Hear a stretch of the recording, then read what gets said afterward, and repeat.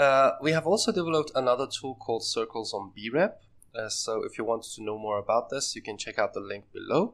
Uh, what it does is that when we produce the BREP from the previous tool, which was this one, uh, we can give it to the polysurface input. Uh, there is a target length, so when we decrease that, it's going to give us more circles, and when I increase it, it's going to give us less. Uh, we can define a multiplication for the radiuses, so if I that, it's going to be smaller and bigger.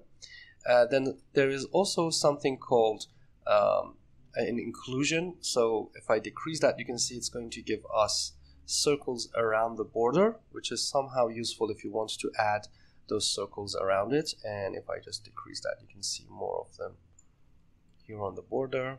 And if you just increase this number, it's going to go out from the group.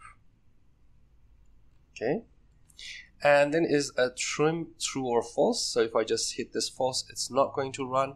Uh, maybe you just want to see the circles. So if I give this to the circles and go here and turn this preview a little bit down, uh, this is going to be faster. And you can just change this faster too. Uh, you can have also the n-gons, which is going to be something like this. And if, you, if I increase that, you can see that this is going to go also disappear. So I can have this n-gons, and there is an n-gon 2, which is going to be the borders, something similar to this. And finally, if you want the result, which is going to be here, you just hit this true button and it's going to run. Uh, if you want to give it uh, maybe some thickness, uh, if you want to convert that into a solid, you can simply use the pufferfish plugin surface and use this offset surface component and give it to here.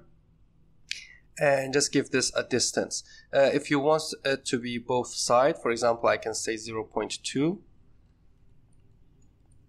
turn this off or disable it, uh, give it to the distance on both side and make this, for example, uh, minus x divided by 2 and x divided by 2. That is going to give us uh, a complete thickness with this number. So if I just turn it on again, it's going to run and this surface is going to be at the middle of the solid.